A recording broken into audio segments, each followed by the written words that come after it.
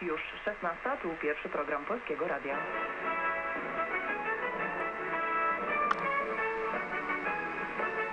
Aktualności radiowej jedynki przedstawi Dorota Wojtalczyk. Okrutne traktowanie i dramat. Tak było w rodzinie zastępczej w Pucku. Małżeństwo stanęło przed sądem.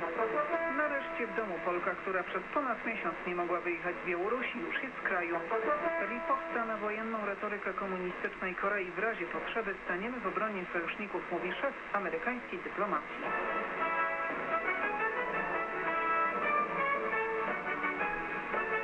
Są oskarżeni o doprowadzenie do śmierci dwojga powierzonych im dzieci i znęcanie się nad pozostałym pięciorgiem. Rodzice zastępczy Anna i Wiesław Przyspucka stanęli przed